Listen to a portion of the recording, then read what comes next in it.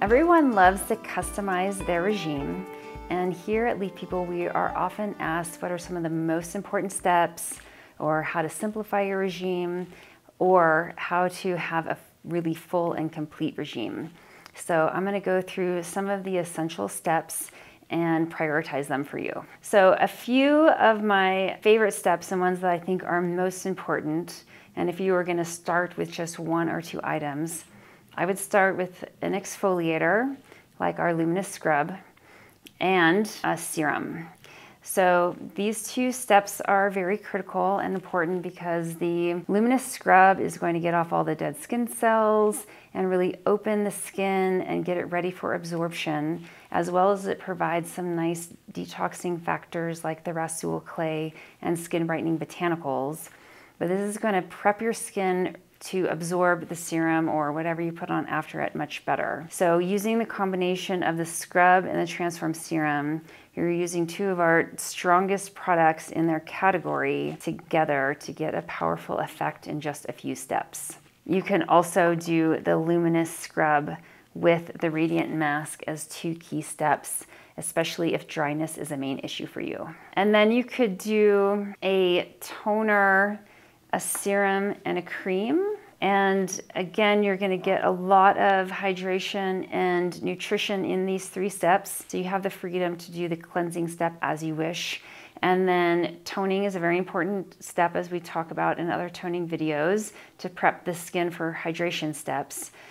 And then as your hydration steps, you're using our two most nutritious hydrating and replenishing products, a serum with a cream. So those are easy ways to simplify, a scrub and a serum or the toner, a serum and a cream. Then if you want to do all of it, or closer to all of it, I would choose the eye serum and the radiant mask would be optional, but these steps would be more important for daily use. And the scrub you're gonna use one to three times a week just for exfoliation and brightness. Your wash you're gonna use every day. We suggest most often at night so that you're washing everything from the day off and going to bed with really clean skin. And in the morning, as we talked about, you can just start with the toner. The toner is always the next step after cleansing, and that's gonna remove residual dead skin cells, soap, makeup, sunscreen, anything like that from your skin. So when you move to your hydrating steps, your skin is really clean and ready. And then you can use any combination of these hydrators.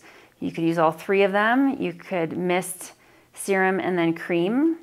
Or again, if you want to cut it a little shorter, you could do either just a mist serum combination or you could do a serum cream combination. And then we have a couple of specialty products that you could integrate as needed or as you wish. We have the eye serum, which would go in after the toning step, wash, tone, eye serum, then continue. And you put your eye serum here because you don't want the skin around your eye to already be saturated. You want it to be thirsty and ready to pick up. So cleanse, tone, and then eye serum so it can just absorb immediately.